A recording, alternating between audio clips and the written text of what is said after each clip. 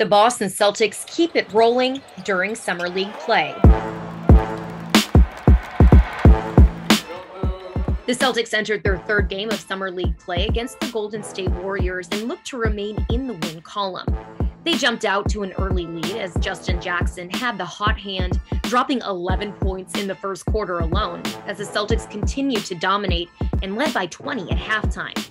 Down the stretch, the Warriors fought their way back, going on a 13 4 run to get back into this contest and cut the Celtics' largest lead of the game with 23 points in the second quarter to just six. But the Celtics were able to hold on with the contribution of Jackson's 24 points to pull out a 103 92 finish.